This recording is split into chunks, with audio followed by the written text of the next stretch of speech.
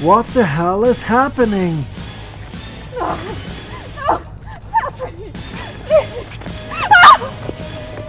I don't wanna die!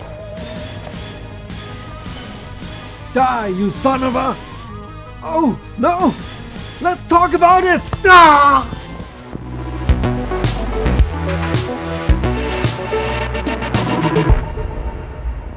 Hi, I'm Andy. Welcome to Screenfire. I hope you enjoyed our live action intro. We try to capture the cheesy spirit of House of the Dead, and I think we succeeded. There are only two ways to make a film out of this either embrace the trash or make a pretty dark horror movie. But nah, we rather embrace the trash. Before we start, don't forget to like and subscribe at the end of the video if you want to see more. And if you are one of our German viewers, check out the link in the description of the video. You can watch our House of the Dead remake review in German as well. The House of the Dead is one of my favorite light gun rail shooters of the 90s, especially the sequel, but of course we focus on the remake. And even though it's not really important, there's also a story to discover. Biochemist Dr. Curien is obsessed with his little experiments that push the boundary between life and death. Of course, everything goes wrong, and we are the one who's being called to save the day. Our fiancée Sophie Richard calls us into the Curien mansion in Europe, and we have to shoot a lot of zombies and other creatures. To be honest, I never gave a shit about the story, and it's so ridiculous you really can't take it seriously, and at no moment it's meant to be. The gameplay is pretty straightforward and exactly what you would expect from a rail shooter. You're stuck with a fixed camera and can't move your character. You're only supposed to shoot what's in front of you. If you want to save an innocent civilian, shoot the bad guys. If you want to use the elevator, shoot the button. If you want to take a different way, shoot the trapdoor or other things that are breakable. The quicker you can shoot, the more points you get, and those are important. As expected, rail shooters are from a different era and really hard. I mean, not Souls-like hard, but still hard. You can trade your precious points for continues and finish the game, even if you really suck and get hit all the time, just like me. The campaign has four chapters and is pretty short. After every chapter there is a boss with a weak spot you have to defeat. You can finish the game in, I don't know, under one hour. But just like any rail shooter, it isn't about the story.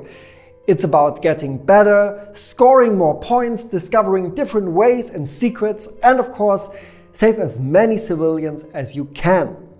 You can play the story mode in single player, local co-op or competitive mode. And there's also a hard mode. There's no nice way to say it, but the graphics are really bad for a game that came out in 2022. Of course, it's prettier than the original, but it still looks dated, which could be a good thing if you want to see it through the eyes of nostalgia. And to be honest, it really didn't bother me that much, but I also don't get why it couldn't look better than what we got. I mean, even the Nintendo Switch could handle more than that. You can even choose between a performance mode for higher frame rates up to 60 frames a second and a graphic mode for better visuals that aren't really better. But let's talk about the elephant in the room. The graphics aren't the worst thing that happened to the House of the Dead remake. Let's talk about the controls. You can use the analog controls or the gyroscope on the Switch Joy-Con or Pro controller. I remember back on the Dreamcast you could also play the House of the Dead 2 with a controller and it worked as good as you could imagine. It's a light gun shooter.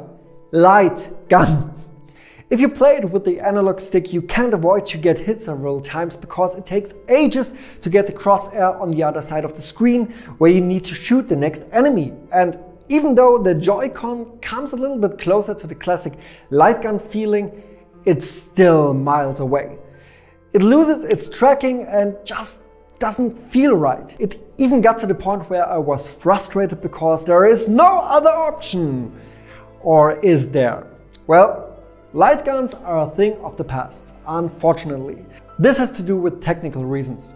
Light guns don't work on modern TVs, only with old CRT TVs. But, but, there is a technical solution to this. The Sinden light gun. What is the Sinden light gun, you ask? It's a light gun developed by Andy Sinden. It adds a thin white border on the screen and the camera inside calculates where you are pointing at over 50 times a second and provides a complete end-to-end -end calculation in less than 20 milliseconds. Unfortunately, as you would imagine, the Nintendo Switch does not support the Sinden light gun. But why would a developer choose the Switch as an exclusive platform for a light gun shooter anyway? I know there are rumors that there will be a version for other platforms as well, but even if it gets released on PlayStation and Xbox, I doubt that they'll support Sinden light gun. Why they didn't think about that during development is beyond my understanding. That's just like, I don't know, building a car in a world where tires are only available from one manufacturer, but you choose a different one because you hate your customers. I don't know. And that's a shame because the feeling is still great. I can see the potential. I could imagine to play House of the Dead remake with my friends at our next Halloween party and have lots and lots of fun with it. But nope. I guess we'll play Mario Kart and destroy our friendship rather than saving the world from zombies. What they really nailed was the voiceover and the soundtrack.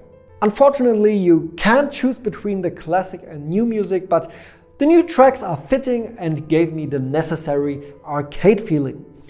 The voice acting is as wooden as you can imagine and it's brilliant. It's this fine line between cringe-worthy and charming. Perfectly done. Another plus is the price. It's not a $70 or Euro AAA game. It's available for $24.99 and if you wait a few weeks, I'm pretty sure you can get it for, I don't know, under 20 bucks.